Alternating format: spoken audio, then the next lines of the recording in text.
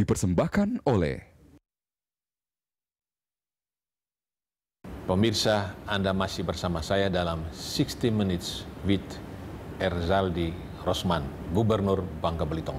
Pak, soal timah ini, itu sebetulnya penambangan rakyat juga ya. Sebelum Orde Baru itu rakyat menambang, Ya. karena banyak di permukaan waktu itu ya. Tapi ilegal ya. Ilegal ya? Ilegal. Ilegal. Orde Baru hanya boleh korporasi katanya. Betul. Ya. Jadi ada berapa? PT Timah saya tahu, kemudian ada PT Timah ada Malaysia, kurang lebih sekitar 30-an, 30-an ya. 30-an. Begitu Orde Baru, bebas ya. Seperti Bebas. ada balas dendam, rakyat juga boleh. Rakyat juga boleh. Nah, Itu bagaimana dengan gali-gali di mana-mana? Nah, ini ini persoalan, Pak. Ya. Terus terang saja persoalan. Bukan maksud kita mau menyalah-nyalahkan eh, eh, yang belakang-belakang, tetapi ke depan kita memang harus berubah. Mana tahu. Dan di sinilah eh, perubahan itu harus kita usulkan ajukan kepada pusat. Hal yang sangat harus saya sampaikan di sini mengenai reklamasi. Bagaimana kita mau mereklamasi sesuatu lahan eks tambang yang rusaknya itu tapi tidak mampu dikelola secara baik dengan jaminan yang memang tidak cukup untuk mereklamasi. Betul. Jadi kita ini seolah-olah udah dibodoh-bodohin. Sekarang misalnya, reklamasi per hektar, itu saya ingat tahun 2028 itu cuma 16 juta. Ya. Akhir-akhir ini 32 juta per hektar. Itu jauh dari cukup. Jauh dari cukup ya. Mestinya berapa hitung-hitungan itu orang-orang ahli itu? Saya tidak tidak Punya angka ya? tidak tidak pu- punya angka itu, Iya. tetapi itu jauh dari cukup. Sekarang bagaimana kita mau mereklamasi orang gundukan, ada kolong, itu mesti di cut and fill lagi, diratakan, eh, humus harus di- diberikan, pupuk dengan cukup dan tanaman yang ditanam adalah tanaman keras. Iya. Dan lucunya undang-undang menyatakan mereklamasi itu harus kembali ke rona awal. Kira-kira Pak Primus bisa ngebayangkan nggak rona awal seperti apa? Iya. Kalau ada ular di situ kita mesti taruh ular Taruh di situ. ular lagi. Kalau ada capung di situ kita taruh capung di situ. Tetapi yang yang lebih unik lagi di sini adalah bagaimana kondisi reklamasi itu hanya dibatasi tiga tahun untuk dipelihara.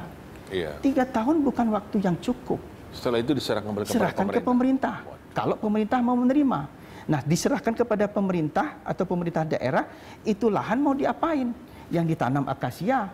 Jangankan yang ditanam akasia udah umur tiga tahun. Mungkin karena tidak memberi manfaat kepada masyarakat, belum sampai satu tahun pun sudah digali lagi sama masyarakat. Benar. Diambil pasirnya, dikorek-korek lagi, masih ada timahnya, karena belum tentu bersih. Betul. Nah yang begini kan suatu dilema. Ketika diadakan reklamasi sudah dengan uang yang tidak cukup, eh masyarakat juga tidak bisa mengelola itu. Iya. Tapi kenapa sebetulnya kita tidak mau merubah aturan tersebut? Ayo kita reklamasi tetapi suruh masyarakat dan masyarakat silakan mengelola itu. Buat dia tanaman yang menghasilkan misalnya untuk 10 tahun tetapi ada tanaman selah yang bisa menghasilkan enam bulan, ada tanaman selah lagi Iya. yang bisa menghasilkan setahun. Mungkin kalau mau kembali ke rona awalnya ya nggak usah binatang ular yang Iya. di, yang di yang ditaruh di Iya. situ. Taruhlah sapi di situ. Betul. Taruhlah kambing di situ. Taruhlah ayam di situ. Sebetulnya tambang ini itu adalah peru- kegiatan yang padat modal ya. Padat modal. Karena menggunakan teknologi. Iya, Jadi betul. dia harus teliti dulu ini benar nggak ada barangnya ada tambang. Betul, ha-ha. Begitu digali kalau nggak ada nanti susah, Iya. nggak punya biaya nutup lagi. Nah inilah masalahnya Pak. Karena IUP di Bangka Belitung ini sudah semua yang potensi itu dimiliki oleh PT Timah, makanya pada zaman-zaman dulu ada IUP yang dikeluarkan untuk swasta. Ini sifatnya gambling. Benar. Ada nggak barangnya? Memang ada, tetapi Tidak dia signifikan. tidak signifikan kalau diambil. Betul. Inilah problem sampai sekarang. Banyaknya tambang-tambang ilegal dan lain sebagainya, main kucing-kucingan. Betul. Dan mohon maaf, Pak, sampai sekarang yang direklamasi itu tidak sepadan dengan yang rusak. Begitu ya. Saya tadi sempat ke Danau Telaga Biru ya. Kaulin, Danau Kaulin Telaga Di Biru. tempatnya Pak Gub waktu menjadi Iya, bupati menjadi ya. bupati, betul. Nah itu penambangan rakyat ya. Iya. Nah, Nggak, ber- itu Kobatin, Pak. PT Kobatin, PT Oh, Kobatin. kedua terbesar sesudah timah. Oh ya. jadi Dulu dimiliki ya. oleh Australia, Hmm. dibeli oleh Malaysia. Pantasan. Agak rapi ya. Betul. Agak rapi itu memahat itu ha, bebatuan. betul. Batu putih, Iya, airnya biru. Ha. Jadi objek wisata. Objek wisata. Bagus dibuat oleh oleh pemerintah atau penduduk setempat ya, dibikin rapi. Sebetulnya Jadi spot-spot untuk foto indah oleh sekali. oleh masyarakat. Saya hanya menambah jalannya aja. Jalan tadi saya lihat. Karena kita tidak bisa mengelola itu karena status lahan itu masih dalam wilayah penambangan negara WPN. WPN. Wilayah penambangan negara. Nah, ini lucu lagi, Pak. Itu masalah juga. Ini masalah lagi. Bapak bisa bayangkan PT Kobatin ini tutup dalam kondisi merugi.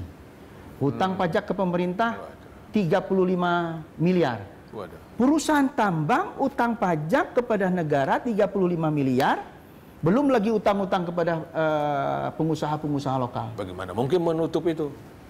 Ya. Jaminan penutupan tambang ada, tapi di tangan pusat. Dan pemerintah daerah tidak bisa menggunakan itu. Nggak bisa minta juga. Tidak bisa. Nah, dilakukan oleh perusahaan tersebut. Apa yang terjadi?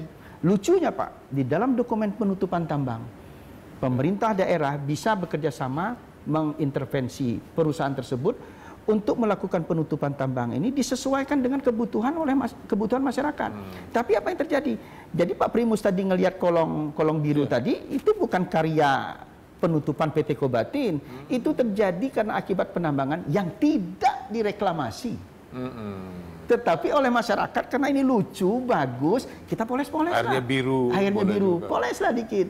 Nah, setelah dipoles, orang senang datang ke situ, pemerintah datang. Itu pun jalan itu hanya sebatas jalan eh, menuju ke desa. Hmm. Kita nggak bisa me- me- merambah ke kawasan itu. Dan lucunya Pak, ada satu lagi. Bisa bayangkan, dari saat penutupan itu saya posisi masih wakil bupati. Saya ingat tahun 2005. 2005 tutup tambang sampai sekarang Pak baru enam bulan yang lalu selesai penutupan tambang. Itu pun belum sepenuhnya. Juga saya dengar ada reklamasi yang sukses ya. Ada. Ah, yang apa namanya jadi botanical garden ya. Boleh ya, ada botanical garden, eh, botanical garden, air jangkang dan lain sebagainya. Tapi kan kecil. Ya, Kecil ya. Kecil, Kecil. sekali. Tidak signifikan dari begitu Iya. kawasan luas bertahun. Dan kantor ini dulu adalah ex tambang. Kantor ini. Iya, yang belum direklamasi. Hmm, itu kantor gubernur ini. Iya. Dan Jadi- inilah salah satu eh, satu hal Pak eh, yang membuat kita miris bagaimana kita mesti harus eh, eh, concern ke tambang, tapi sebetulnya tambang ini belum kita lakukan eh, secara optimal. Iya. Coba bayangkan Pak, dari dulu PT Timah hanya kerjanya ngebalok aja. Sementara orang sudah berpikir solder. Solder pun orang sekarang sudah powder. Bukan lagi kawat-kawat begitu Pak. Sudah powder. Sudah Jadi, cairan. Pak Gub kepingin ini jadi industri ya. Industri Harus- hilirisasi kan. Hilirisasi Sehingga dia mempunyai nilai tambah. Kita jangan terlambat. Ya. Kalau kita tidak bisa mem- mem- membuat timah ini memiliki nilai tambah yang lebih lagi, nanti timah ini jadi tidak bernilai. Rugi kita. Ya. Nah, pendapatan dari pemerintah daerah apa? Royaltinya aja. Benar. Nah, Hanya 3 persen. Iya. Tapi masihkah ada nilai tambah lebih besar dari penambang ini dari sekedar timah? Ada. Pemirsa jangan ke mana-mana karena kami akan mendalami lebih jauh soal ini.